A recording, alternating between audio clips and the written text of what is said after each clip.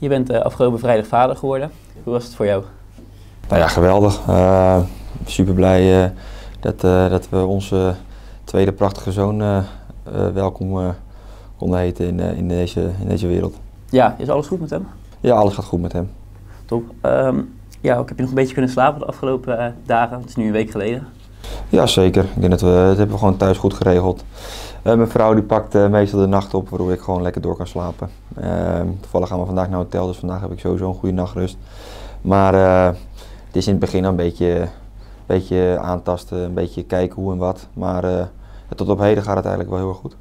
Je wilde na, je, na de bevalling verhuizen naar Rotterdam toe. Gaat dat nu in gang gezet worden? Nee, nog niet. Ik denk dat ik denk dat het belangrijk is dat we nu ja, gewoon ja, relax, uh, heel erg relaxed blijven.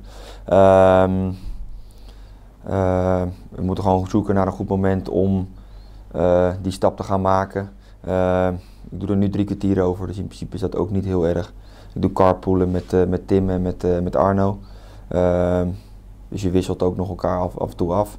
Ehm, dus weet je, alles komt op zijn tijd. Je bent inmiddels twee maanden bezig bij Sparta. Hoe bevalt het bij, bij de club? Ja, heel erg goed. Ik ben eigenlijk super blij dat ik deze keuze heb gemaakt. Uh, ik was ook toe aan een nieuwe stap. Eh, en die kans kreeg ik geboden door, door Sparta. Ehm, ja, het, is, ja, het blijkt tot op nu, tot op heden, nog steeds een, een hele goede keuze te zijn. En daar ben ik ook nog steeds heel erg blij mee. Een van je dromen was om in de Eredivisie uit te komen. Dat is nu gebeurd. Hoe is dat voor jou? Ja, goed. Uh, iets waar je heel lang uh, voor uh, hebt gewerkt om een bepaald doel te kunnen bereiken. Um, en dan is het ook mooi dat je dan dit jaar die stap kunnen maken. Um, ja, en dat is een kwestie van aanpakken en, en hetgene laten zien wat je in de voorgaande jaren hebt, hebt kunnen laten zien. Um, dus ja. Inmiddels zitten de eerste drie wedstrijden erop. Hoe kijk je daar persoonlijk op terug? Ja, drie wedstrijden, één keer de nul. Uh, ja, op zich prima. Ik denk alleen dat we als club uh, of als elftal uh, uh, het op zich prima doen. drie lastige tegenstanders gehad. Ik denk dat je goed begint tegen Heerenveen uit met een gelijkspel.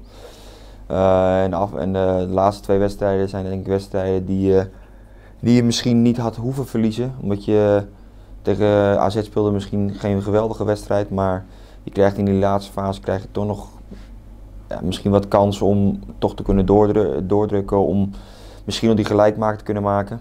Uh, en Ajax vorige week helemaal. Ik denk dat je in de, in, uh, in de eindfase nog twee goede kansen creëert, waardoor je gelijk kan maken. En ja, je ziet gewoon dat wij uh, clubs de wil op kunnen leggen. En ik denk dat dat wel typerend is voor ons elftal. Voor, morgen wacht de wedstrijd tegen Go Eagles. Wat weet je van de tegenstander van morgen? Ja, gewoon een goed, gewoon een goed elftal. Ehm, een paar snelle spelers voorin. Beide backs die veel, uh, die veel voorzetten geven. Uh, ja, achterin super degelijk. Uh, ik denk dat het een goede wedstrijd gaat worden.